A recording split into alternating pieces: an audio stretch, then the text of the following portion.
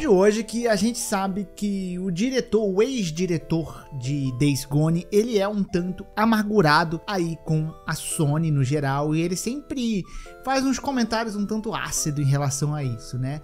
Ele é quase um David Jeff ali agora criado pela Sony, né? E recentemente ele ficou com raiva ali do Astrobot, né? E por causa da homenagem que tem ao Days Gone ali, ele trouxe um comentário muito esquisito, no mínimo, né? Bem tosco, na real. E esse comentário acabou ali meio que sendo indiretamente respondido pelo, pela Brand Studio, que é o estúdio do Days Gone, né? E até por algumas pessoas ali relacionadas ao Days Gone, defendendo indo contra, no caso, o diretor. Vamos comentar sobre esse caso aqui, porque ele é um tanto curioso. Então, de mais nada, não se esqueça de deixar seu like, se inscreve no canal e vambora pro vídeo. Todo mundo aqui usa navegador, certo? Então eu quero que vocês esqueçam esses navegadores muito simples e tanto monocromáticos. E eu quero mostrar algo para vocês com um pouco mais de personalidade. Eu quero apresentar aqui o Opera GX. O Opera GX é um navegador que tem muitas funcionalidades, além de ser muito bonito. Uma novidade deles é aqui no cantinho a gente consegue ver os mods, e os mods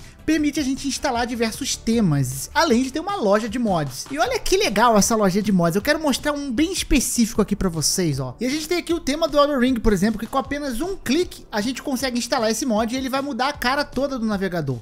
E ele vai mudar não apenas o fundo, como ó, a musiquinha que a gente consegue ouvir, o som do teclado, quando você mexe nos menus é exatamente o mesmo som de Elden Ring, então ele traz toda uma modificação, uma cara nova para o seu navegador e você pode escolher diversos temas, Elden Ring é só um exemplo. Além disso, agora ele tem uma feature conhecida como Área, que é uma integração de IA que vai te auxiliar em diversas tarefas. Quem é o canal Hades Plays? Ó, Space é um canal do YouTube que faz vídeos sobre jogos. Criador é o Eduardo Nicole. Olha, o cara sabe meu nome. Apresentador, apresentador do Nerd Games. Mais de 440 mil inscritos no YouTube e no Instagram. E pode ser encontrado no Instagram, blá blá blá. Ó, achou tudo perfeitamente. Muito bom. Além disso, a gente tem outras features que são bem clássicas aí, né, do Opera. Por exemplo, o DX Control, que permite a gente controlar a quantidade de RAM, CPU que a gente está utilizando, limitar a internet que está sendo utilizada pelo navegador. Então o link do Opera GX está aqui na descrição, ele é muito fácil de você importar dos outros navegadores, ele é compatível, por exemplo, com plugins do Chrome, então é muito facinho você portar se você está usando outro navegador. O link está aí na descrição, então vai dar uma conferida lá no Opera GX. Então, né, primeiro vamos falar do comentário do cara aqui, né, do comentário ácido aí do diretor do Days Gone, né? O nome do diretor, né, o caso é o John Garvin.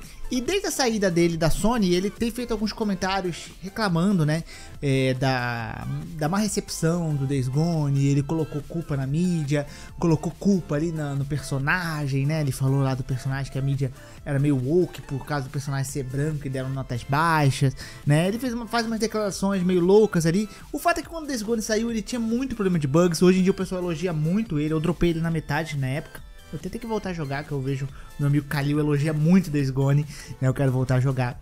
E ali na época, cara, o jogo teve downgrade, teve problemas de, de otimização, etc. Então, foi um jogo que teve problemas no lançamento justificáveis, né? E, entretanto, ele ficou muito amargurado com a nota. A Sony também olha muito as notas e tal. Né? E ele fala que é por causa disso que o Days Gone não tem sequência, blá blá blá, né? Ele não vai para frente, tudo culpa da nota, da mídia, etc. Né? Embora ele, em alguns momentos ele reconheça realmente os bugs, né? Ele tenta não colocar esse como principal pivô ali dos problemas, né? E agora, recentemente, ele veio aí alfinetar o fato do Deacon, né, o personagem do Days Gone, estar presente no Astrobot. Se você não viu ainda, né, ele, entre vários, né, são 300 bonequinhos ali e a grande parte desses 300 bonequinhos são personagens interligados a personagens que já fizeram história na PlayStation.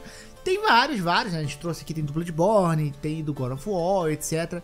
E um desses personagens é o Deacon do Days Gone. Ele tá lá, né? Ele está presente ali, né? Como personagemzinho. É um personagem que você pega numa fase ali e acabou. Não tem nada muito especial relacionado a ele, né? E o John Garvey veio e falou o seguinte aqui, né? Ele falou, cara, o Deacon foi reduzido a promover outros jogos, tá? Muito bem, de estúdio. Que ótima maneira de proteger seu legado. Vejo meu personagem reduzido a um desenho animado para promover um jogo pequeno e eu estou sendo duro por isso, né? Ele estava respondendo ali um outro criador. E em meio a essas respostas aí, né, o pessoal da Blind Studio veio elogiar a aparição do jogo né, do Days Gone lá no Astrobot, elogiou o jogo, inclusive nas redes sociais eles pediram lá pra galera falar, ah, tira fotinha aí com o Deacon no jogo, manda pra gente aqui e tal, né, fez uma interação com a galera para utilizar o modo foto do Astrobot, então por parte da Band Studio a galera ficou bem, bem feliz.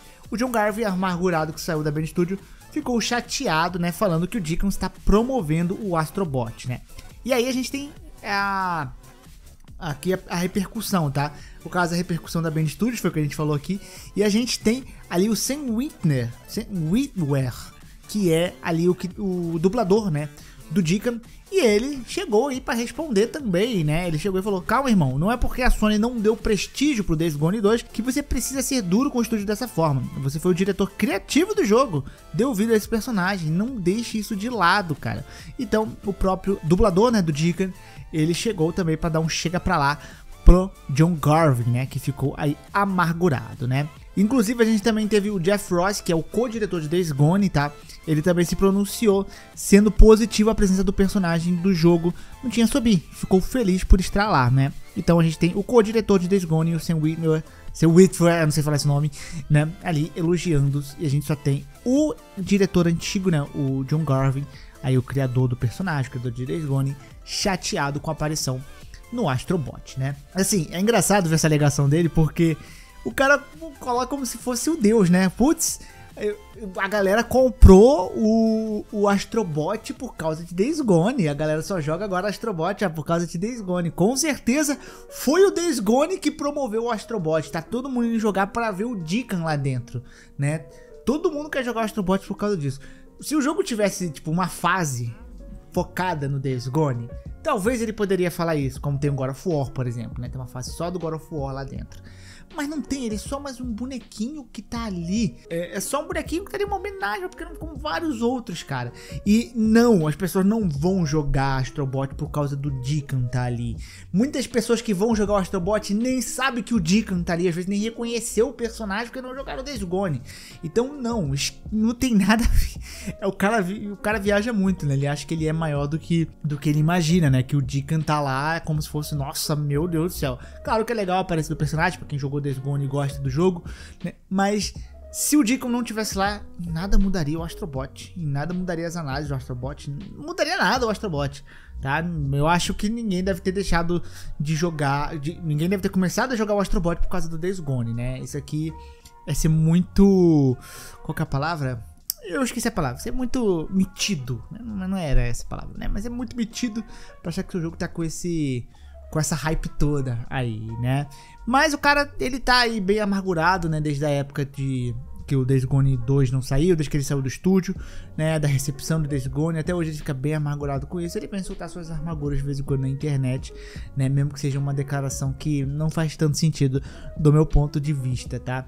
Mas é basicamente isso aí que tá rolando, essa mini treta, né? O que, vocês acham disso? Deixa aqui nos comentários. Eu fico por aqui, meu povo. Grande beijo, grande abraço. Um beijo, meu povo. Até a próxima. Tchau, tchau.